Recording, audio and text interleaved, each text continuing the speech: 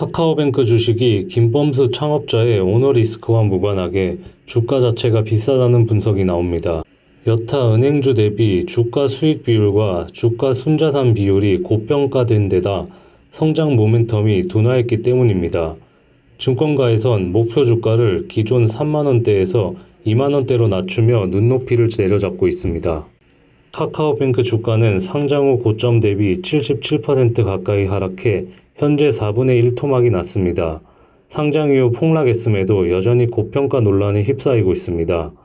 은행주들의 PER을 보면 4에서 8배 수준인데 반해 카카오뱅크는 무려 28.5배가 넘습니다. PBR도 1.7배로 압도적입니다.